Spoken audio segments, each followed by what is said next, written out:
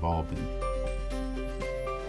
In Stratford Point, Connecticut, Audubon staff are partnering with Sacred Heart University on a unique living shoreline installation that employs reef balls to limit wave damage and restore habitat.